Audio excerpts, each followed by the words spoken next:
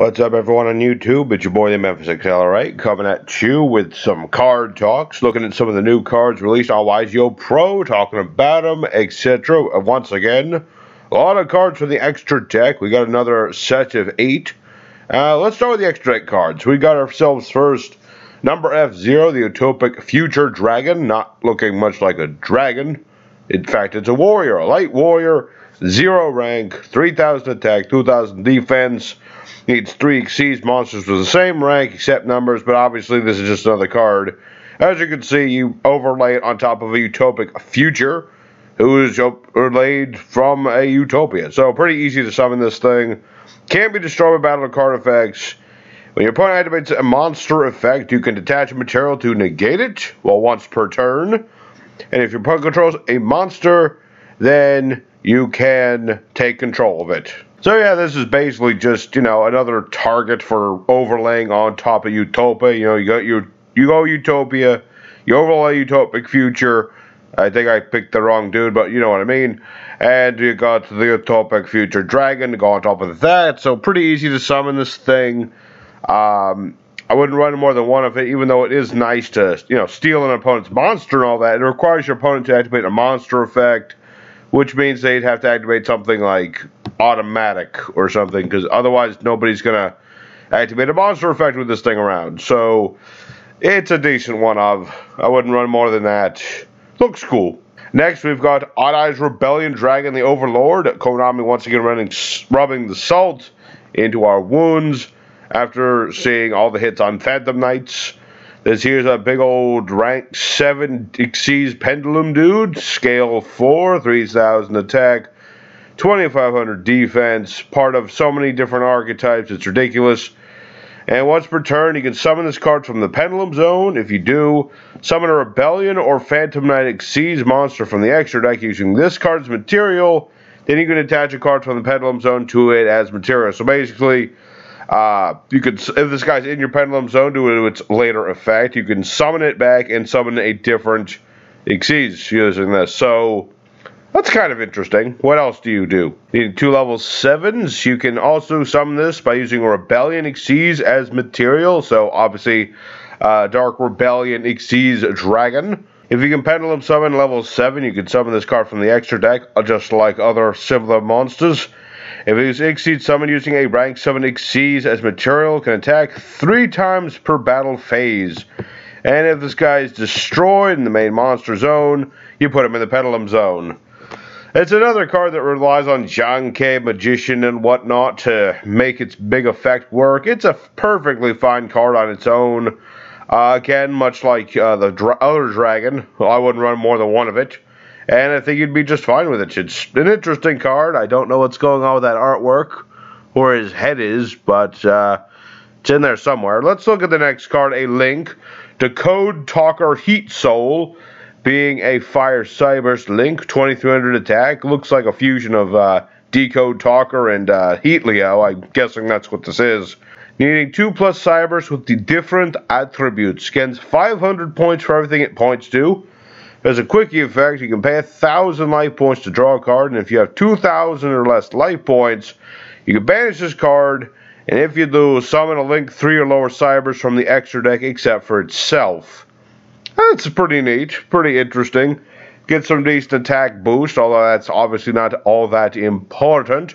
What's important is you pay a quick thousand life points, draw another card, and if you have very few life points left, you can distribute this thing away, summon something like Transcode Talker or possibly Ignister Dark Paladin, whatever. Works both ways, honestly. I think Although this thing is easily good for Cyberse, decks, or, well, obviously wouldn't work very well for Salamangreats, uh, but it would work very well in an Ignister deck, because they use all sorts of different attributes.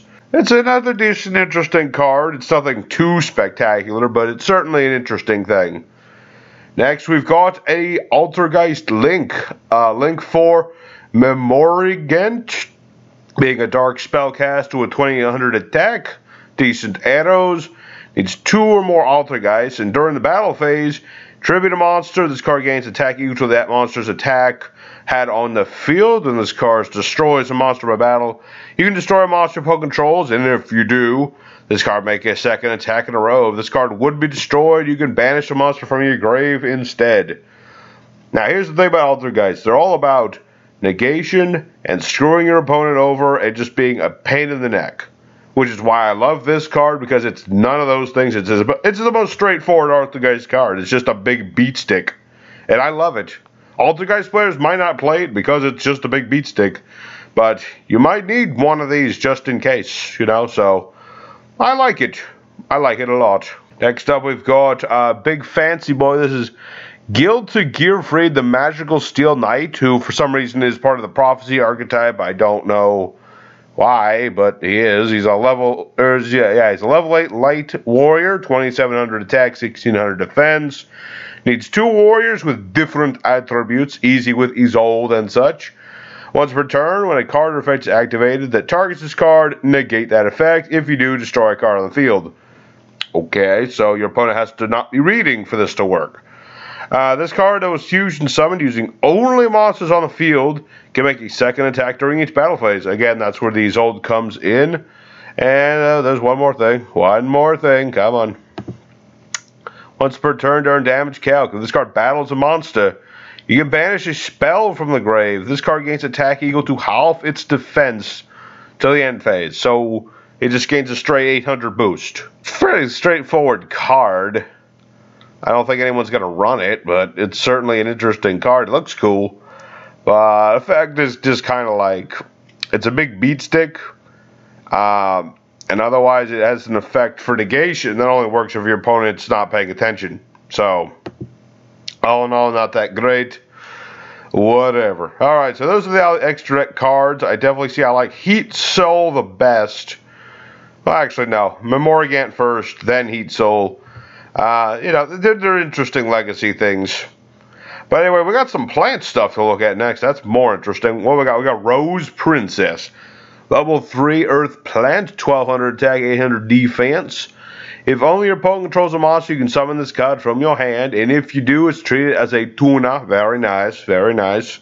Special summoning a plant monster, treats it itself as a tuner. Good for tribute fodder, good for synchros, etc., etc. Good for links. Very nice. You can only special summon Rose Princess once per turn this way, understandable.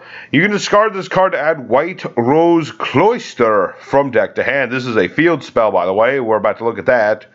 This card states if you control no monsters, you can summon a rose dragon or a plant from your hand.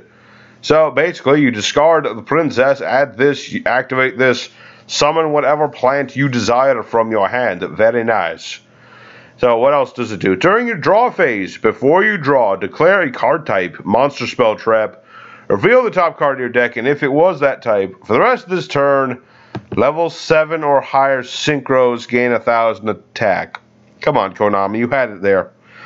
Now, this is, if you didn't know, this is a reference to the, uh, what was it, the 5Ds manga where the one character had like psychic predict the draw powers or some shenanigans. I don't know. Regardless, basically, this is this is a poor second. The first effect is the only important one. The second effect is just borderline silly. I mean, honestly, boosting a thousand onto like a rose dragon, not that important. I mean, yes, it's permanent, but whatever. It's just a boost. I would have preferred it if you predict the card and then you could like get an extra draw. That would have been 10 times better. I'm just saying, man. It could have been so much better there. I know it's one of the manga cards, but still. Lastly, we need to talk about Crystal Girl, who is a level 1 water spellcaster with 200 attack and 100 defense stating that if she's normal or special summoned, you can activate the effect of during the end phase, add a level 5 or higher water monster from deck to hand. And if you control one of these level 5 or higher water monsters while this is in the grave, you can summon this card and banish it and leaves the field. Um, what is the point of this card? I mean, don't get me wrong, it is a normal summonable search during the end phase, a whole plethora of water monsters effect, and you can Linkuriboh off of it and all that good stuff, but it's not that good. Searching during the end phase is never good. So, I don't know. It could have been better there. The second effect's good for, like, making a comeback and stuff, making a few links here and there. Otherwise, Crystal Girl, not that much to talk about. Anyway, those are the new cards off of YGO Pro. What did you think of these cards? Let me know in the comments and all that. Your boy Memphis will see you again next time there's more cards on good old YGO Pro. Till next time, guys, stay frosty. You have a good one. Take care.